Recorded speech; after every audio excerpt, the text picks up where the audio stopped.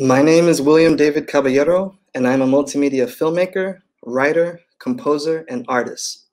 I am a descendant of Spanish colonizers, enslaved indigenous Taino natives, and West and Central African enslaved people, and I currently live on land that once belonged to the indigenous Tongva people. Artistically, I tell big stories using small figures. My creative documentary projects transform my subjects into 3D modeled figures inserted into miniature handmade sets. It strips away the veneer that 3D animation should be a medium for Pixar style films starring mostly white protagonists that are easily digestible by mainstream audiences and challenges the viewer to take a look at the lives of people of color who feel voiceless in today's America. My most prolific 3D printed protagonist has been my Puerto Rican grandfather, uh, wrong slide, uh, who starred in my comical web series Grandpa Knows Best, which debuted on HBO for two seasons, and short film Victor & Isolina, which will later premiere at the Sundance Film Festival, Museum of Modern Art, and help me receive a Guggenheim Fellowship in 2018. When did you move to Estados Unidos? Uh, April uh, to, uh, 17, 1955. When did you meet Grandma?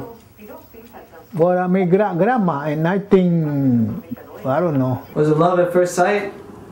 Eh, no, eh, no, not that grandpa too much.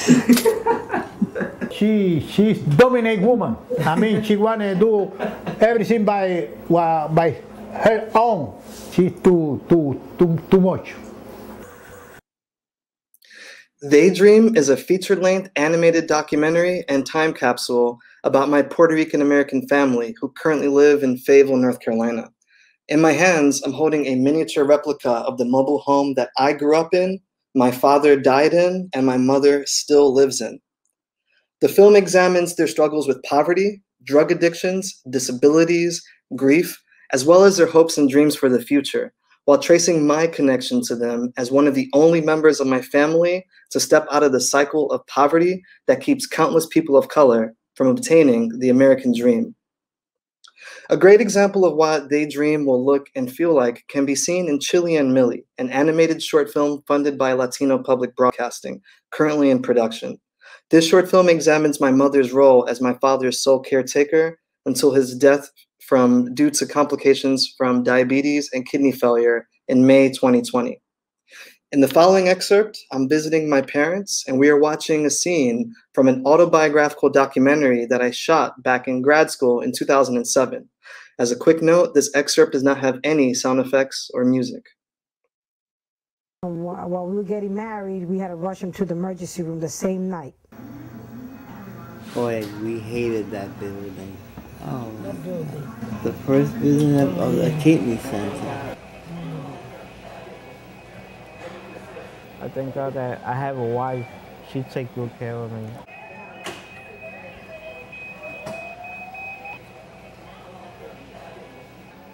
Ow. Yeah, that hurts right there. I need a lollipop. You need a lollipop. My hands hurting me. Yeah. What's wrong with your hands? Nerve damage. It hurts also though. feel like needles sticking in my hand. A lot of needles. And then my hand begins to feel like it's on fire.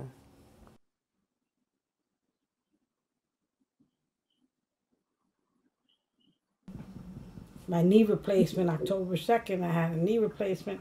And then I had a hip replacement. I got two of them. Yeah, it's painful, but I mentally have to get myself better because I have other people that depend on me, like my husband and my mom and my dad. I remember in 2004 when my husband was really, really ill. At 8 o'clock in the morning, I got a call. I say to today that that I think was a blessing from God. I see my husband cringing like this, like this, like this with his hand palm, but he was like in a state like this, really quiet. And I seen he was really stiff. And I, I tried to call out to him, and I seen him sweating profusely. I tried to pick him up, but I couldn't pick him up. and he fell.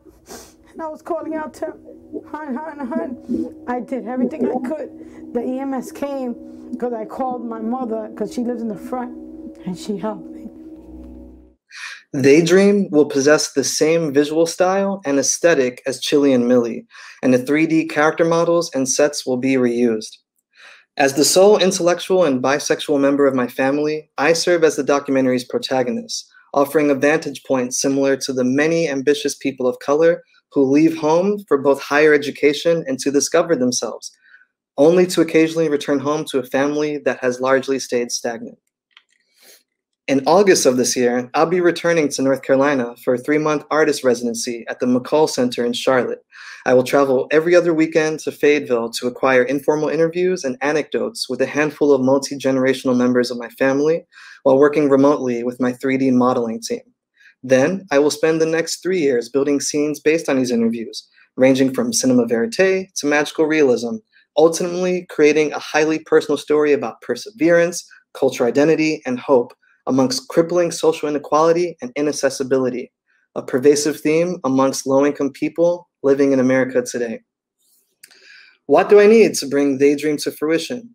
Well, mostly additional funding and dedicated studio space. In regards to funding, I'm estimating the project will cost around $400 to $500,000 to complete. This funding is crucial to pay for my team of 3D modelers, riggers, animators, and compositors, as well as miniature set designers and other creative collaborators. In regards to space, there's only so much I can do in my one bedroom apartment in Hollywood. I need more space to house my miniature sets, camera and lighting gear, and digital work environment. Oh, and if you happen to know Lin Manuel Miranda, please tell him that I exist and that I'm uh, pretty much his creative doppelganger. So, yeah, thank you so much for taking the time to learn about The Daydream, a project that will not only challenge and push the boundaries of my creative filmmaking practice, but one that will also allow me to share a very personal story about myself, my family, Puerto Rican American Boricua culture, and the validity of individualism. I'll leave you with one last mantra that fuels my work as an American filmmaker of color. If we don't tell our stories in our own unique voice, someone else will. Thank you.